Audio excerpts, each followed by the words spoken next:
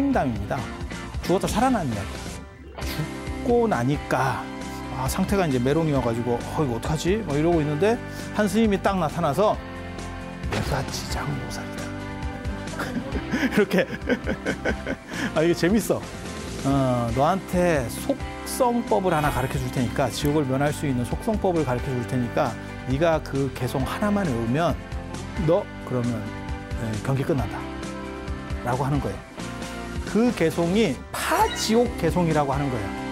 약인 용료지 삼세일체불 음관법 개성 일치우심조.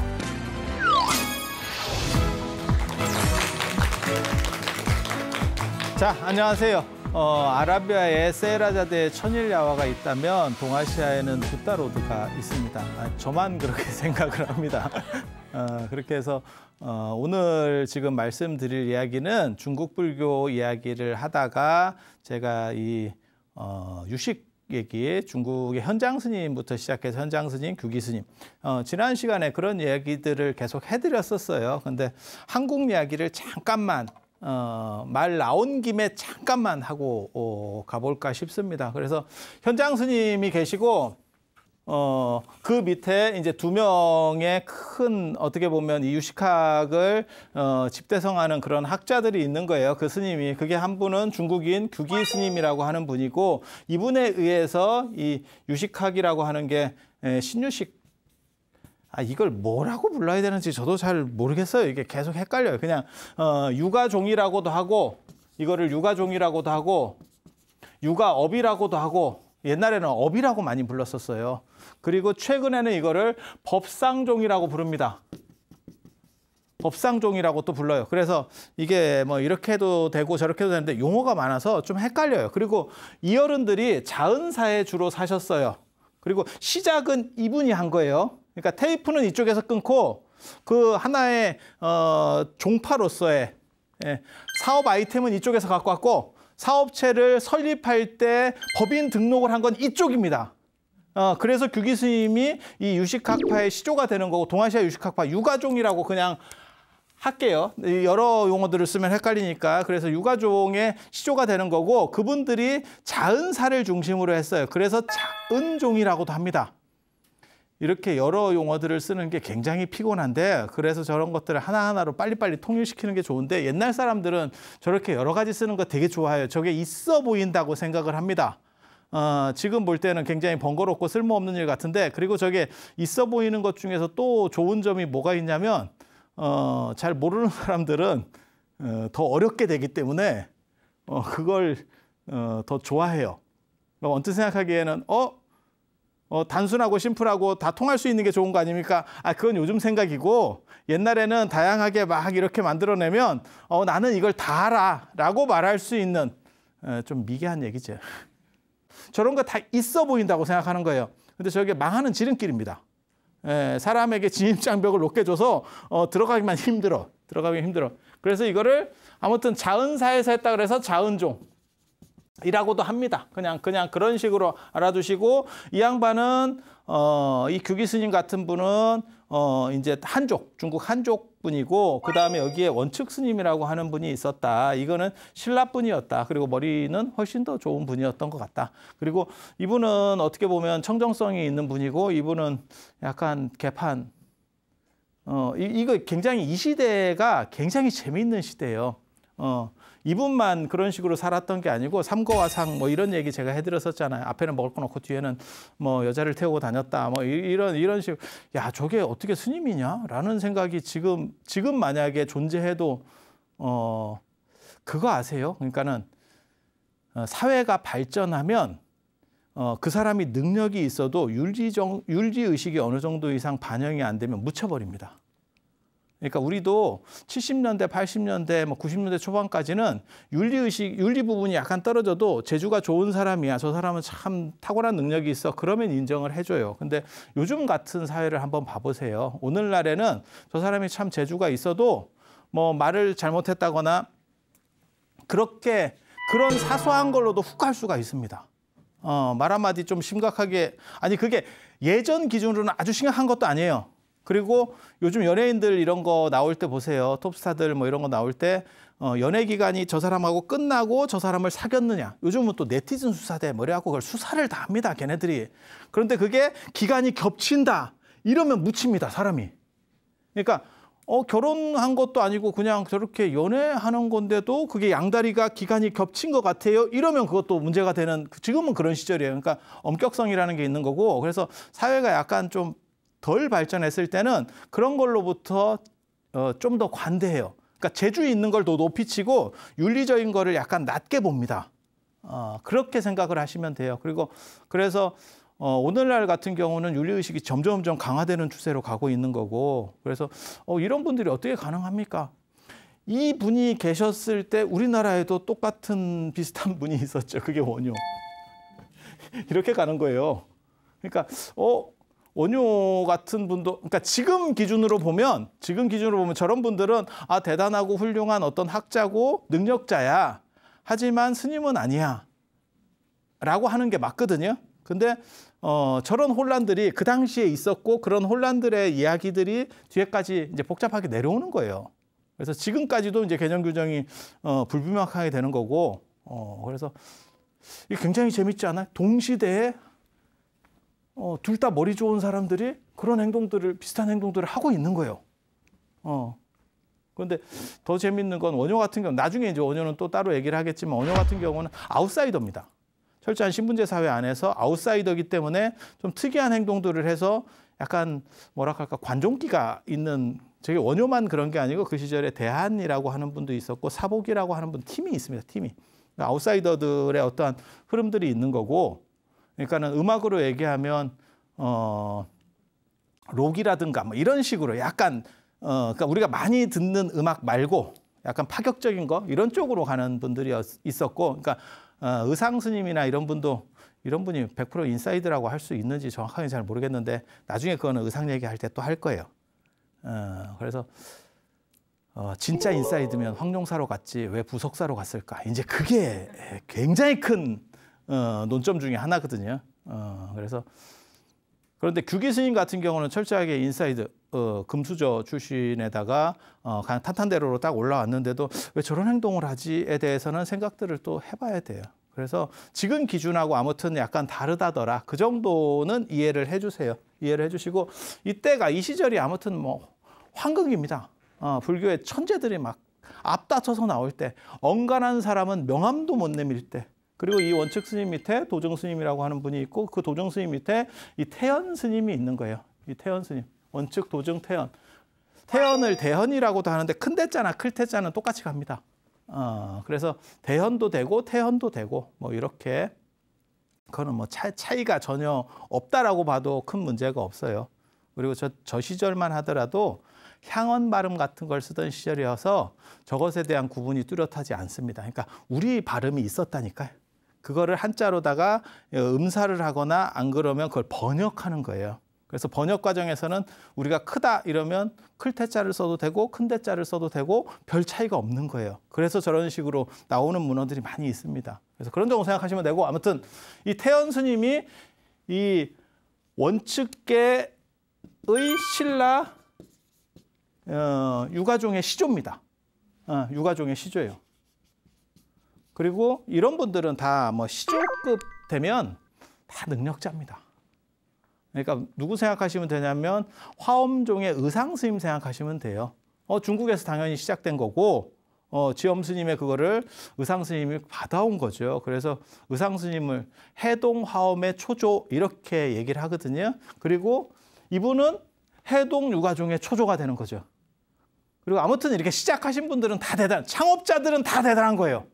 음, 그렇게 생각하시면 돼. 그래서 이분이 3대 저술가 중에 한 명이에요. 통일신라 시대 3대 저술가. 그래서 50여 종이 한 100권.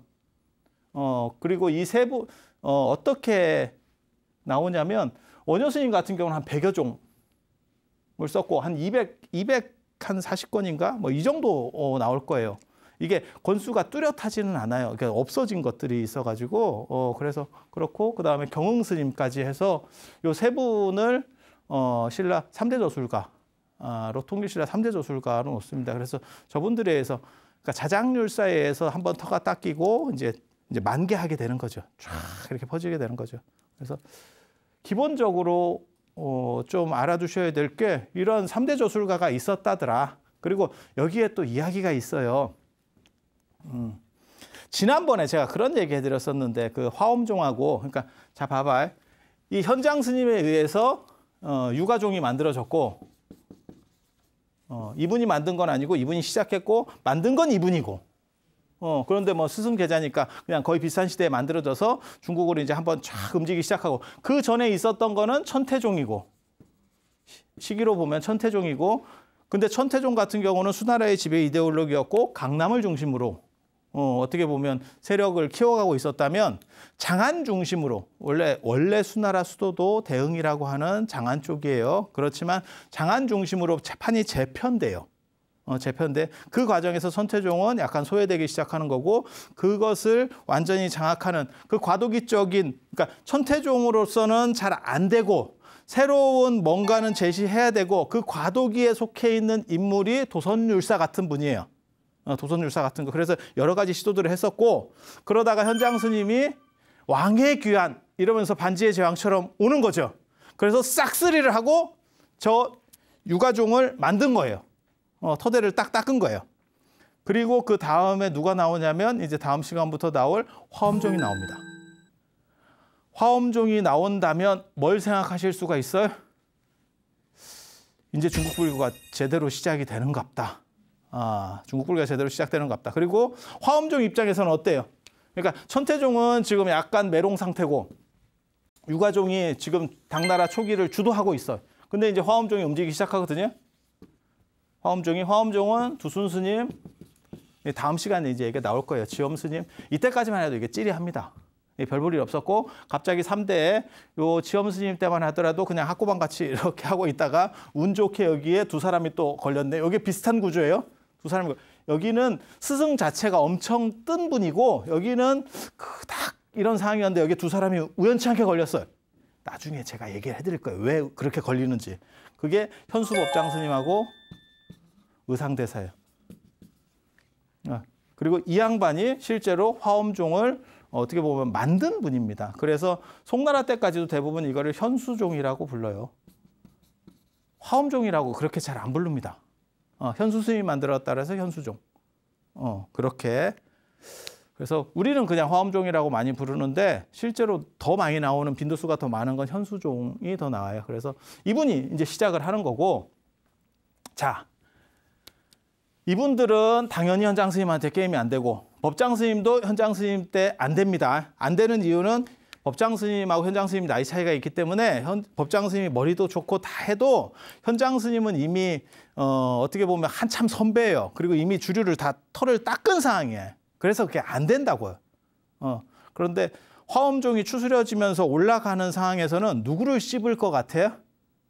차은종을 씹겠죠. 그러니까 육아종을 씹겠죠. 육아종을. 후발에 아니 그렇지 않을까? 시장을 주도하고 있어. 우리 예전에 그런 거 봤었잖아요. 어, 파스테르 유업 뭐안 그러면 한겨레 신문 이런 게 나왔을 때 시장을 주도하고 있었던 뭐 조선일보, 동아일보, 중앙일보 뭐 이런 걸 씹었었고 그다음에 파스테르 우유가 나왔을 때는 뭐 매일 유업이라든지 뭐 남양 유업이라든지 이런 데 씹었었고 그렇게 가지 않을까? 그렇게 해서 서로 충돌하는 기록이 제가 전에 말씀드린 어, 화엄종이 화엄종이 뭐 지옥도 구제해주고 지옥도 구제해주고 그 다음에 제가 전에 얘기를 해드렸어요. 곽신양이라는 사람이 죽어서 어, 도리천에 갔는데 가보니까 거기서 화엄종 아니 그 뭐야 어, 화엄경 잘 설하는 분이 있는데 어, 그분 아느냐 이렇게 얘기하더라. 어, 도리천 중에서 그런 얘기들이 나오더라. 그러니까 어, 미륵 어, 유가종이 미륵을 모시는 종파예요. 미륵을 모시는 종파. 어, 그래서 이쪽보다도 오히려 이쪽이 더 대단하다더라. 그 의미를 내포하고 있는 게 이 곽신양의 설화거든요. 그리고 왕명간의 설화는 전에 이거 말씀 다 드렸었습니다. 어, 왕명간의 설화는 사람이 죽어서 왕명간이라는 사람이 죽어서 저승에 가보니까 어, 이제 지장부살이 어, 나타나서 화엄경 개송을 가르쳐 주면서 어, 약인용료지 예, 삼세 일체불 음감법계성 일체유심조 이걸 외우면 지옥이 예, 지옥에서 벗어난다더라. 그래서 지금 그거를 아직도 한국 불교에서는 어, 종송해서 하고 있다. 아 그리고 연불 할 때도 저 뭐야 재지내고 뭐 이런 거 할 때도 그걸 계속 합니다. 그게 파지옥 개송이에요. 그래서 어, 지장신앙보다도 대단하고 미륵신앙보다도 대단하고 그리고 전에 제가 또 그런 얘기 해드렸어요. 남산에 어, 종남산의 도선율사가 어, 도선율사가 의상대사하고 그 천공 얘기할 때 그거는 율종보다도 더 대단하다. 화엄종이. 그러니까 이런 얘기들을 누가 만들었겠어요? 사실일 수도 있는데 우리는 그냥 그렇게 생각하는 거지. 우리도 어떤 진술이 나왔는데 한쪽에 너무 유리한 진술이야. 그리고 그쪽에서 그걸 퍼뜨리고 있어. 그러면 우리가 합리적으로 무슨 생각하냐면 자기네들이 이거 만든 거 이런 생각을 할 수밖에 없어요. 어, 법원 심리에 지금 들어갔는데 한쪽이 너무 유리한 이야기들이 있는 거예요. 그러면 그 누가 그걸 만들었을까? 아니 그냥 의심하는 거예요. 이게 제가 신심이 부족해서 그래요. 신심이 부족해서 업장이 두터워서 사실일 거예요. 사실일 건데 너무 너무 일치되게 이쪽으로 한쪽을 가리키고 있지. 이게 이상하게 이렇게 화살이 똑같은 데를 가리키고 있는 거야. 그리고 그건 뭐냐면 후발 주자인 화엄종이 앞에 있었던 지장신앙이나 미륵신앙, 저 육아업이나 그 다음에 저 사분율종, 계율종보다 뛰어나다. 라고 얘기하는 거예요. 근데 되게 재밌는 게 천태종보다 뛰어나다라는 스토리 구조는 어, 안 보여요. 그 얘기는 뭐냐면 아 장안 쪽에 천태종은 실제로 그 당시에 좀 안 되고 있었구나. 어, 천태종이 셌었으면 주류 중에 하나였었으면 그 씹는 얘기가 분명히 나왔을 겁니다. 그리고 요거랑 똑같은 게 신라에서도 있었어요. 신라에서도 그런 사건이 벌어져요. 그게 태연 스님과 관련된 사건이에요. 태연 스님과 관련된 사건. 그러니까 저술도 이 정도 할 거면 보통 공부하는 분은 아니잖아요. 그리고 요즘 어, 저도 뭐 책을 제, 저도 제가 한 50권 이상 책을 쓰고 뭐 이렇게 했지만 옛날 책 쓴다는 게 저게 쉬운 일이 아닙니다. 어, 요즘보다 훨씬 힘든 일이에요. 어, 그리고 옛날 스님들 같은 경우는 기본적인 어, 사찰 생활들을 다 하고 대중을 지도하면서 책을 쓰는 거예요. 요즘 같은 경우는 그냥 어, 막말로 얘기해서 자기 일 딱 하고 그냥 책 쓰면 되는 거고. 그러니까 지금은 세상이 분업화돼 있고 어, 예전 같은 경우는 기본 생활들을 다 해야 돼요. 기본 생활하고 남는 시간에 저런 작업들을 한다고 가정하면 훨씬 힘듭니다. 그리고 또 일찍 돌아가시잖아요. 그리고 특징이 뭐냐면 되게 재밌는 게 저분들이 이렇게 보면 책 많이 쓰고 이런 분들 업적을 남긴 분들의 가장 큰 특징 중에 하나가 언간이 오래 삽니다. 아주 오래 사는 건 아닌데 언간이는 오래 살아. 다 획을 긋는 사람들이 어, 특별하지 않으면 언간이 오래 삽니다. 그래야 뭔가를 만들어낼 시간이 있죠. 아니, 그렇지 않을까요? 아무리 내가 뭘 머리가 좋고 뭘 해도 그냥 뭐 그렇게 해서 죽었어. 그럼 뭐 어떻게 할 거예요, 자기를? 드러낼 방법이 없는데. 그런 정도 생각을 하시면 돼요. 그래서 요 세 분이 이렇게 어 이제 책도 많이 쓰고 이러는데 이 경덕왕 때 시대도 되게 비슷합니다. 어 시대도 다 비슷합니다. 어, 요 시기에 이제 어, 저 태연 스님이 태연 스님이 왕궁에서 비가 안 와서 어, 법문을 설했대요. 저 경덕왕 때 얘기예요, 저게 지금. 그래서 이게 뭐냐면 현유가 이게 태현의 유가종, 태현의 유가종이라는 뜻이고 그 다음에 이게 법회의 화엄종이라는 뜻이거든요. 이게 법회 스님이라는 분이 화엄종 스님이 있었어. 그 두 두 이야기가 한 대목 안에 들어가 있는 거예요. 한 이야기 구조 속에. 근데 경덕왕이 경덕왕이 어, 비가 안 와가지고 나라에 비가 안 와서 어, 태연 스님한테 왕궁에서 법문을 청했대. 그래서 이게 이제 쉽게 말해서 기우제 법문이야. 그랬더니 금강명경을 가지고 설법을 했대. 금강명경이라고 하는 거는 금강명경, 그 다음에 어, 인왕경, 그 다음에 법화경 이렇게 해서 호국 삼부경 중에 들어가는 거거든요. 그래서 금강명경을 공부를 하면 어, 저걸 법문을 하고 이러면 사천왕이 도와줘서 어, 나라가 잘 된다. 그 다음에 뜻대로 일이 풀어진다. 뭐 이런 이야기가 있어요. 그래서 고려 때까지 사천왕 도량 뭐 이렇게 해가지고 나오는 법회들이 있어요. 뭐 그렇다 치고 그렇게 해서 어, 당신이 이제 그걸 법문을 딱 하면서 이렇게 했다는 거예요. 그래갖고 법문 주, 중인데 청수가 늦게 올라온대. 그러니까 우리식으로 그냥 지금식으로 얘기하면 한참 이렇게 의식도 하고 법문도 하고 뭐 이러고 있었는데 맞이가 늦게 올라오는 거예요. 사실을 보고 있는데 맞이가 늦게 올라오는 거야. 그러니까 어 나중에 이제 좀 기다리다가 아 그럴 수 있잖아요. 그래서 기다리다가 어 이제 왜 늦게 왔는고?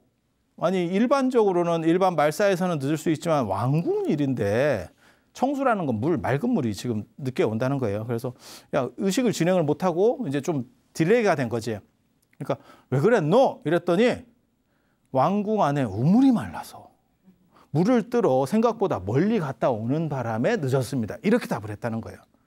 그랬더니 태연 스님이 진지게 얘기하지 그랬어.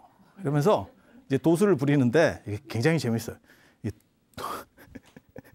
도술의 패턴이 있어요. 도술의 패턴이 있어요. 그것 때문에 지금 얘기해 주는 거예요. 어, 제가 원래 이런 것도 어, 기가 막히게 다 알거든요. 어떻게 하냐면 향로를 갖고 와라. 그래갖고 향로를 딱 들고 기도를 하는 거예요. 그랬더니 우물에서 왕궁 우물에서 그 가물었다는 왕궁 우물에서 한 20m 물이 솟구쳤대. 쫙 솟구치더래. 영어 맞아. 어, 저 정도 재주는 있어야 되는데 꼭 향로를 든다라는 얘기가 나오거든요. 그게 요즘같이 선향을 쓰는 게 아니어서 나타나는 거예요. 선향이 있었으면 아마 향만 가지고 들었을 개연성도 있어. 근데 꼭 어, 우리가 현충원 국립묘지 이런 거 생각해 보시면 그 향 불 붙었잖아. 그거 어떻게 다시 쓸 거야?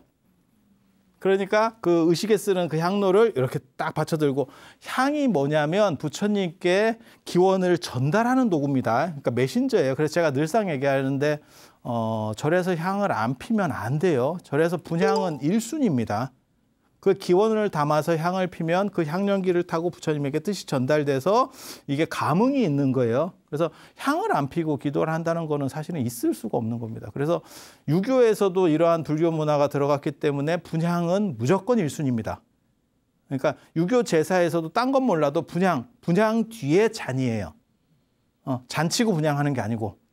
어, 그래서 개인적으로는 요즘 들어서 자꾸 절에서 이렇게 향을 안 피는 문화들이 있는 거에 대해서는 좀 우려를 표하거든요. 그래서 아예 중국이나 일본처럼 외항로를 두든지 외항로라고 하는 거는 법당 밖에 그렇게 해서 자유롭게 필 수 있게 해주든지 안에 있으니까 뭐 숨쉬기가 힘들다 어쩐다 이러면서 막는데 이건 막을 수 있는 종교 전통이 아닙니다. 어. 그래서 그렇게 했대요. 거기에 끝이 아니야. 이게 뭐, 뭘 뜻하는 거냐면 어, 법상종 쉽게 말해서 유가종이 얼마나 영험한가에 대한 얘기거든요. 그리고 이 유가종이 굉장히 재밌는 게 이 술법에 아주 등합니다. 유가승들이 아주 이 술법에 등해요.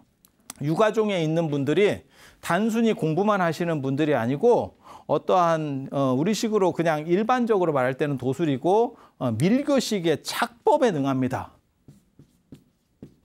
나중에 이제 신라 통일신라 되기 직전에 문무왕 때 그 얘기를 나중에 해드릴 건데 거기 보면 어, 통일신라 통, 신라가 삼국 통일을 하고 그 다음에 당나라가 백제하고 고구려까지 이렇게 먹으려고 했었거든요. 그때 어, 신라가 먼저 뒤통수를 치고 어, 약한데 선빵이다 이렇게 해서 공격을 합니다. 그거를 당나라가 당하고 나서 굉장히 짜증이 났어요. 어, 굉장히 짜증. 뭐 이런 놈들이 있나? 지그들이 망한다고 그래서 도와줬더니 어, 이게 뒤통수를 친다. 이래서 서해로다가 50만 대군을 띄웠을 때 그때 명랑 스님 신인종의 시조입니다.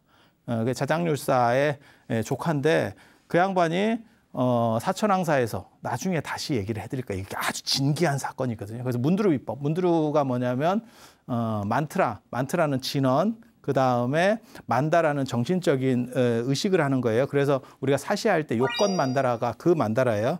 그 다음에 예, 문두루는 무드라 이게 수, 수인입니다. 수인, 수인, 손 이렇게 이렇게 하는 거.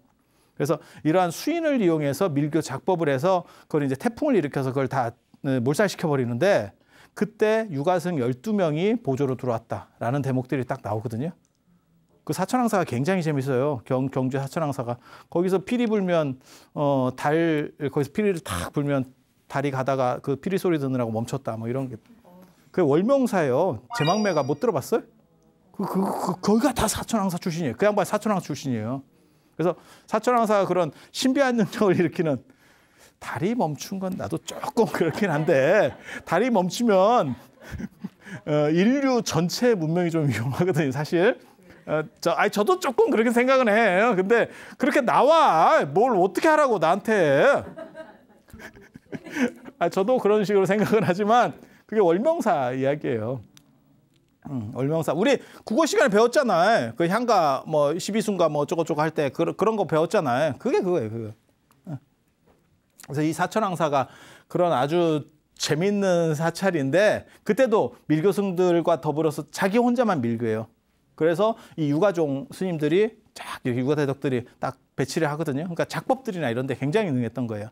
그래서 다 올리니까 물이 쫙, 뭐 멋지잖아요. 어.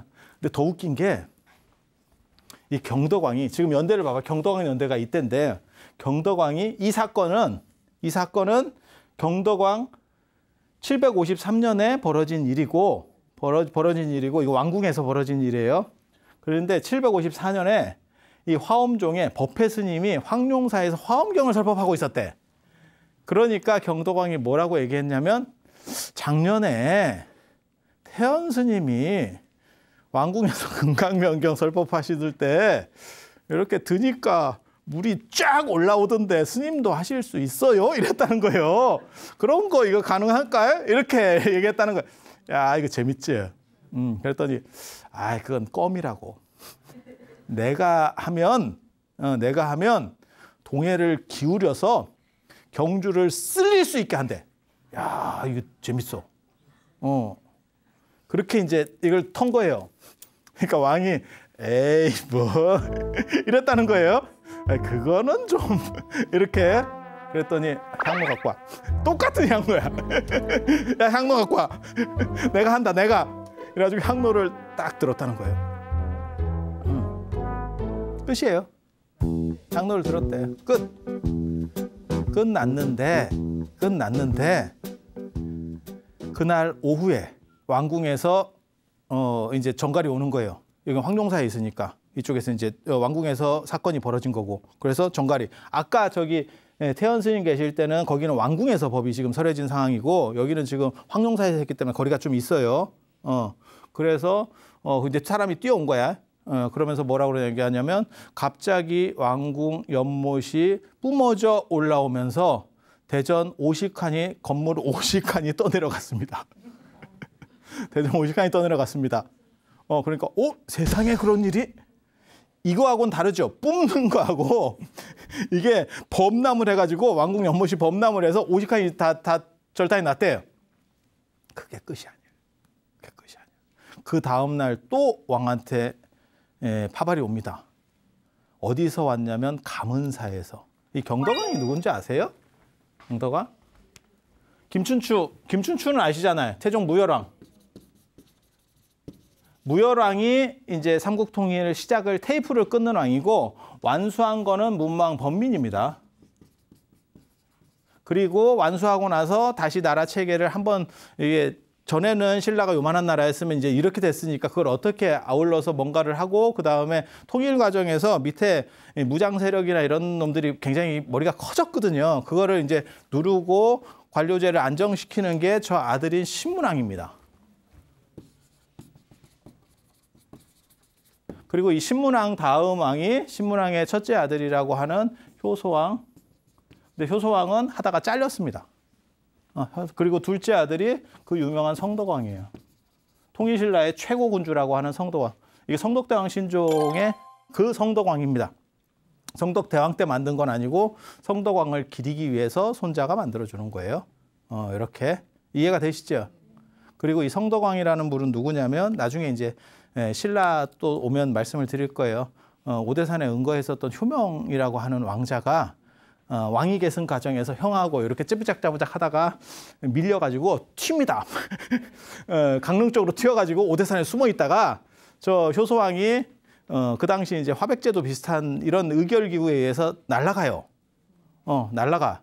그렇게 나서 거기 오대산에서 문수 기도 하다가 문수보살 기도하다가 어이구 어 이게 무슨 음, 이거래 이러면서 내려가서 왕돼 가지고 내가 어, 상원사 문수보살님 영험으로 왕이 됐다. 그렇게 해서 왕이 되고 난 뒤에 어, 다시 와서 상원사를 건설을 하는 겁니다.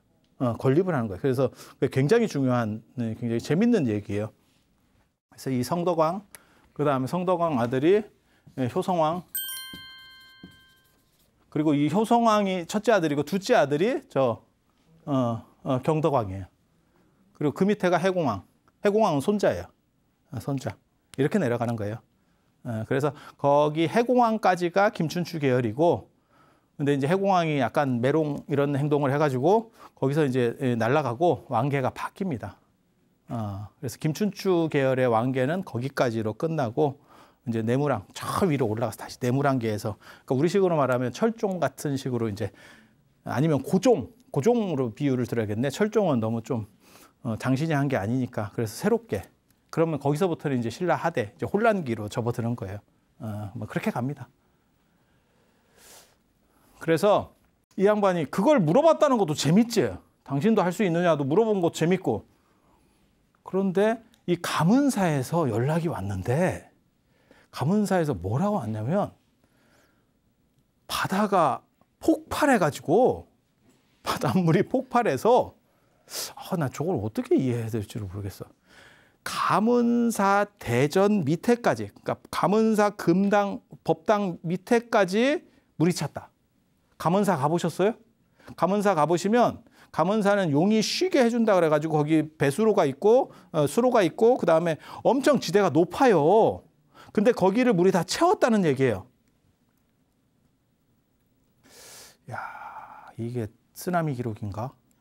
아 전에는 이런 기록들을 볼 때 제가 무슨 생각했냐면 저게 가능할까 이런 생각을 했는데 지금은 생각이 바뀌었어요. 이 경주에 지진 나고 난 뒤부터 어, 사실 그전에도 알고는 있었어요. 경주에 지진 난다는 걸 알고는 있었어요. 왜냐하면 제가 불국사를 가지고 박사 논문을 써, 쓰고 석가탑, 다보탑 뭐 이런 것도 제가 했었기 때문에 근데 석가탑에 보면 석가탑 중수기에 뭐가 나오냐면 왜 석가탑을 중수하느냐 고려 시대 때 그런 얘기가 나오는데 거기에 보면 지진이 나서 석가탑이 넘어갔어요. 이게 얘기가 나온다고.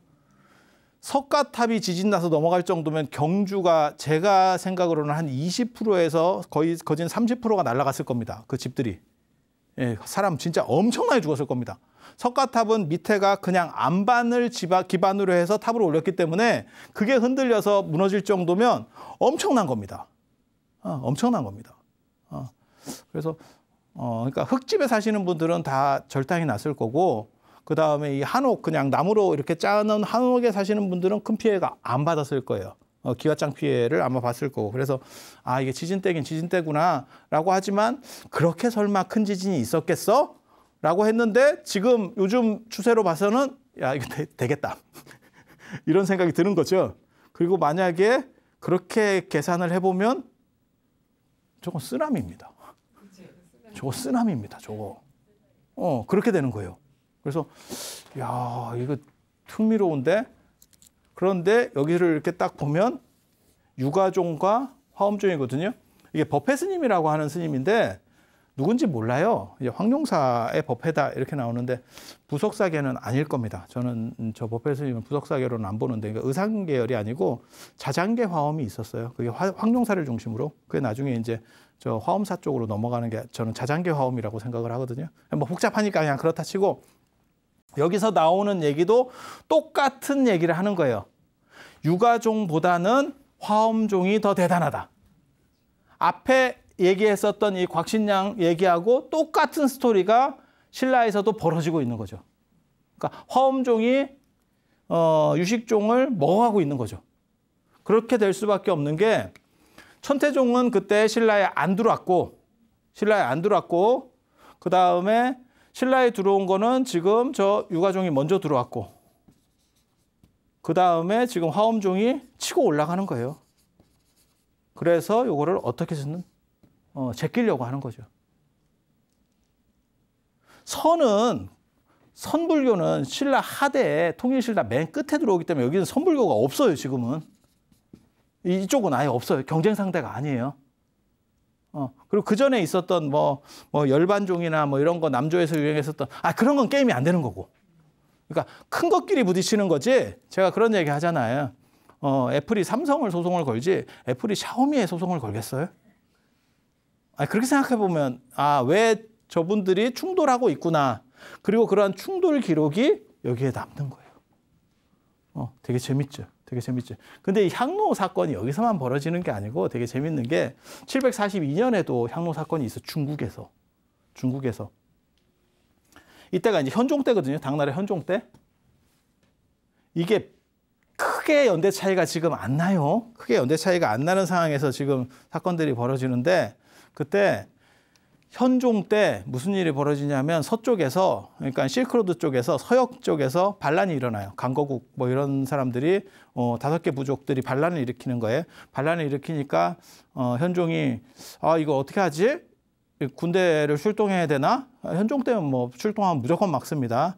그러니까 어 그렇게 얘기를 하다가 제가 불조 통계에 나오는 얘기인데 그때 불공스님 어 저 불공스님은 누구냐면 어, 선무의 금강지, 불공 이렇게 해서 밀교의 에, 개원 삼대사라고 어, 밀교에서 굉장히 중요한 어, 스님이에요. 어, 현종 때 개원 연간에 개원의 치에서 최고의 고승 세명이 들어가는 사람이에요. 그래서 어떻게 했으면 좋겠습니까? 그랬더니 향로가 와. 향로가 와. 아 저도 그래서 향로를 한번 들어볼까 요즘 내가 그런 생각들을 하고 있다니까 이게 향로가 와. 그래서 향로를 딱 들고 인왕다란이를 외웠대요. 서쪽을 딱 보고 인왕다란이를 외웠대. 아, 인왕 호국다란이거든요. 그러니까는 아까도 제가 말씀드렸잖아요. 금강명경, 그 다음에 인왕경, 그 다음에 법화경이 호국삼부경이다. 그래서 인왕다란이를 딱 외우고 그 37번 외우고 나서 어, 해결됐을 겁니다. 이렇게 딱 했다는 거예요. 딱 하니까 그걸 외우니까 이건 되게 재밌어. 저 법회 스님 기록에는 왕한테는 안 보이잖아. 안 보여 안 보이고 나중에 결국 이야기로 듣게 된 거잖아. 왕국에서 물이 넘쳤습니다. 뭐 가문사 쪽에서 뭐 무슨 문제가 생겼습니다. 이런 얘기를 하는데 여기는 눈에 뭐가 보이더래요. 이게 신병들이 왔다 갔다 하늘에서 왔다 갔다 하는 게 보이더래요. 어. 어. 그래서 어 저게 뭐예요? 이랬더니 아 저게 비사문 천왕의 두 번째 아들인 도건입니다. 도건이 두 번째 아들이고 세 번째 아들이 북방 다문천왕 비사문천왕의 세 번째 아들이 그 유명한 나타 태자예요. 나타라고 들어보셨어요?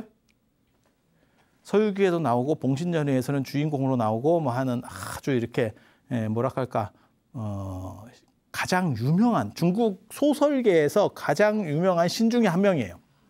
음, 그 나타태자예요. 나타태자. 음.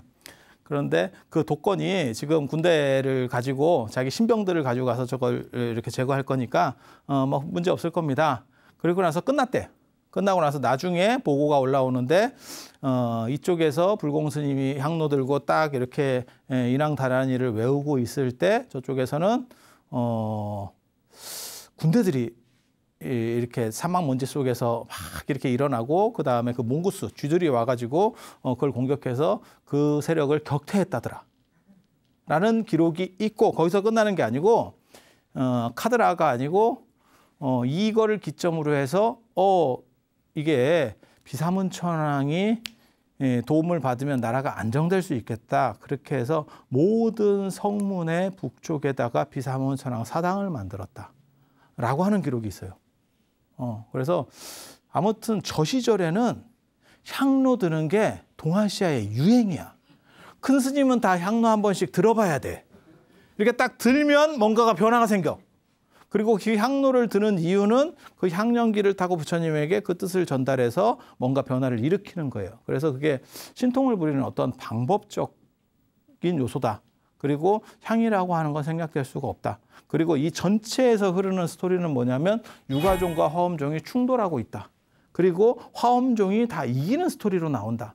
왜 그럴까? 유가종이 먼저 자리를 잡고 있었고 그것을 뺏는 입장에서 화엄종 쪽에서 들어가고 그 이야기를 더욱 널리 퍼뜨린 건 화엄종이겠죠. 이게 두 이야기가 떨어져 있었으면 별 문제가 없어요. 근데 요거를 요 같은 한 쉽게 말해서 한 폴더 안에 아니면 한 이야기 안에 앞뒤로 붙어 있어. 누가 붙였겠냐? 저는 화엄종에서 붙였다고 생각을 하는 거거든요. 이 이야기도 있고 이 이야기도 있어. 붙여놓고 그 다음에 뭐라고 이제 왕 얘기를 왕 얘기를 넣냐면 이 왕이 스님도 하실 수 있으세요? 야 이거 아마 사건이 있어서도 별개 두 개의 사건이었을 거예요. 근데 그걸 붙인 거지. 그래서 재밌어요.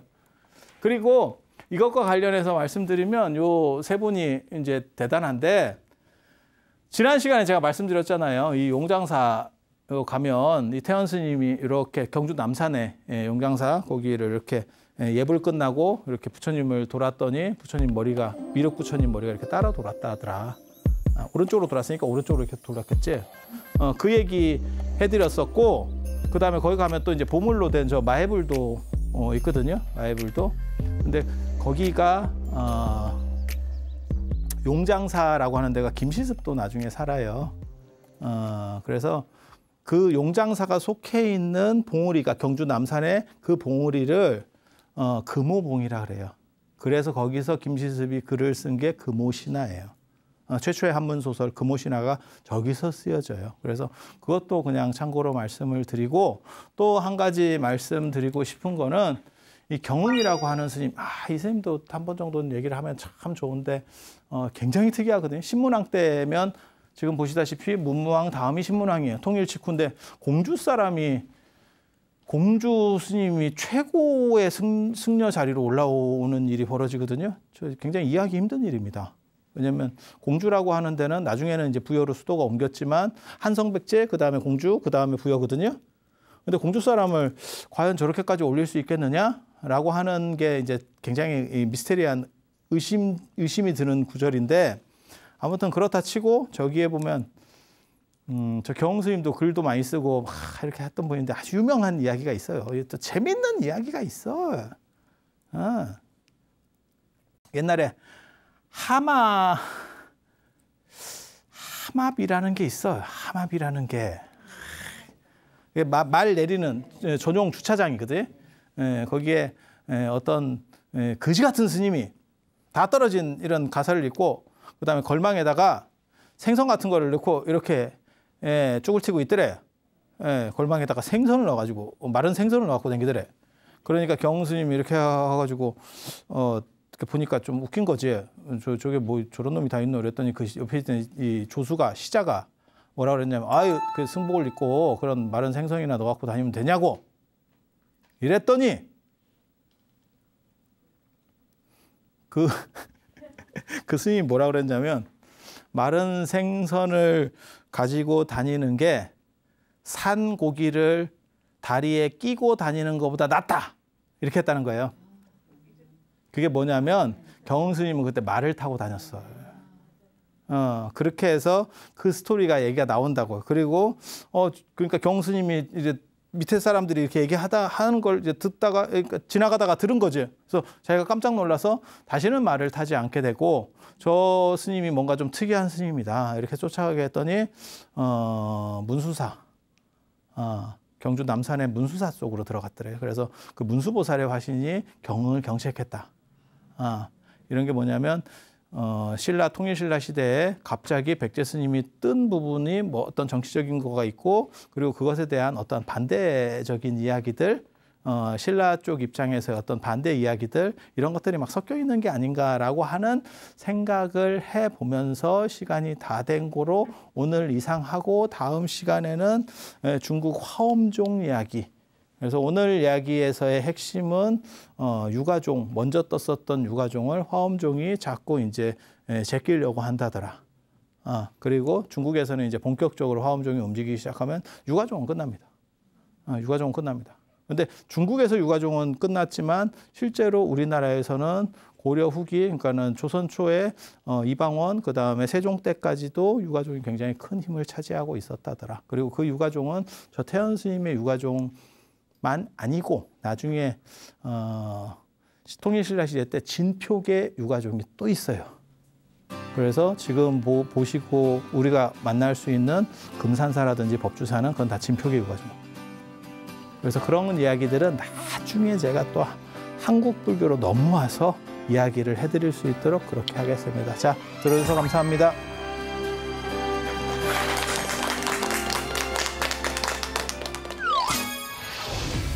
같은 나무 잎이라도 같은 색은 없을 겁니다. 엄밀하게 얘기하면.